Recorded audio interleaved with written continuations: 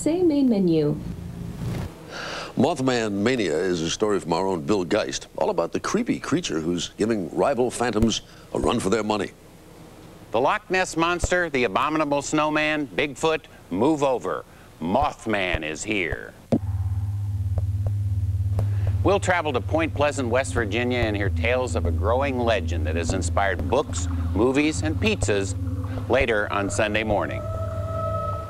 Bill Flanagan of MTV treats us to some of the best music of the new season.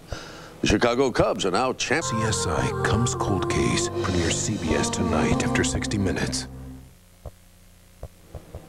Although Mothman Mania hasn't swept the whole country yet, it is well entrenched in one particular corner of it. So we sent our Bill Geist to investigate. Where the Kanawha River flows into the Ohio sits Point Pleasant, West Virginia.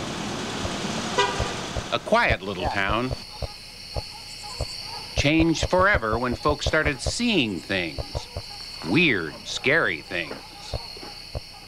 That thing jumped on top of the car, squatted and looked like this into the windshield through us. I thought, well, it's, it's going to reach down and pick me up, and this is it. We looked at it and backed up and then turned and run. It was 80 miles an hour, and that thing was still running beside the car. The story began on November 15, 1966, when two young married couples drove through an abandoned explosives facility and happened upon a seven-foot winged humanoid with two huge glowing red eyes.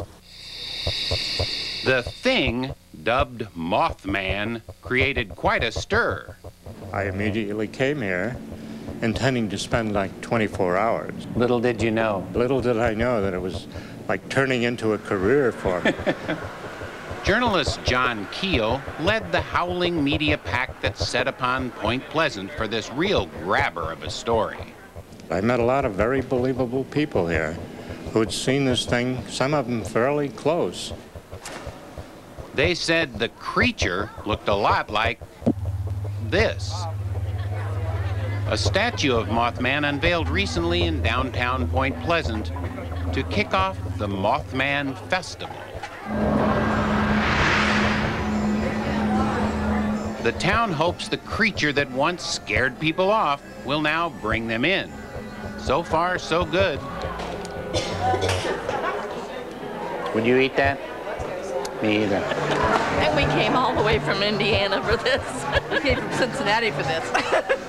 yeah, baby. Oh, very elusive, this Mothman. People come here from uh, London, Germany, Germany, uh, Japan.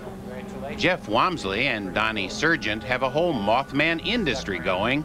They wrote a book, printed T-shirts, established a website. The townsfolk seem right proud of their Mothman.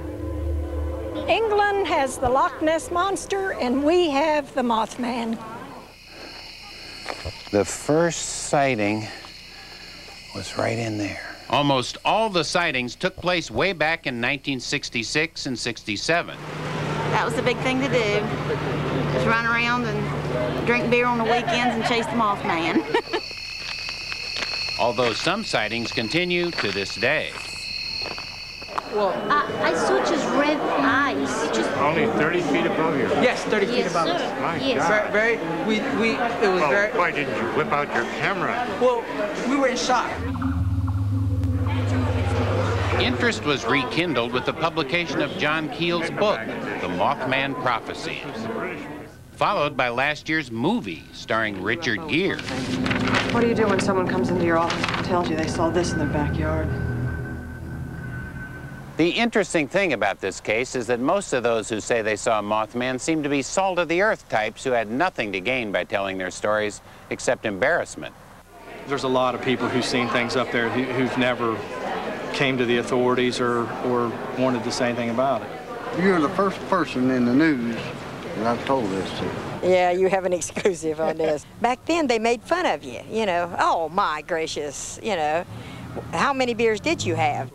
And they're sticking by their stories. I'll take a lie detector test on what I saw.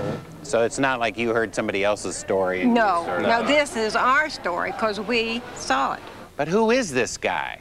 Theories have abounded a biochemical mutation, a space alien, or perhaps the embodiment of a 200 year old curse by Shawnee Chief Cornstalk. Well, there are theories that the government used mind control in this town back in the 60s. The Frick brothers here take an unusual interest in Mothman. We consider ourselves paranormal investigators. This drug and alcohol counselor has her own theory. Well, you know, we're in West Virginia. There could be stills somewhere. But my favorite theory comes from this Earthling who spotted spaceships during the Mothman sighting. Well, do you think these ships that Mothman may have been on one of those ships? Could have been. Uh, I tell you, it might have been a pet that got loose from him or something. Or, you know. Mothman might have been the pet of one of the aliens? Yeah, could have been. You know, like we have dogs and cats for pets and stuff like that. You know, that's just a theory.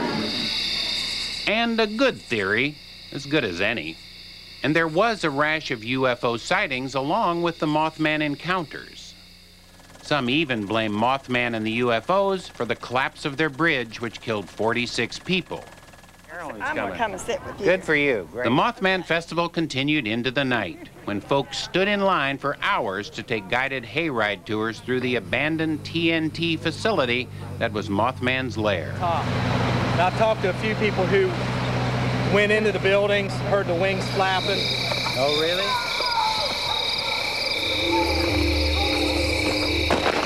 And a few brave souls went out on their own looking for Mothman, armed only with maps and flashlights. What are those dogs barking at? It was a little scary. What with a huge winged monster out there? Mothman. Here, Mothman. Here, Mothman. Could those be the lights of the UFO they were talking about? Dropping off Mothman? That's ridiculous, but I keep hearing these voices. I know they saw something. What it was, I don't know. It was big. Like it, nothing I've ever seen before. I knew he was for real, whatever he was. And the biggest, reddest eyes you've ever did see.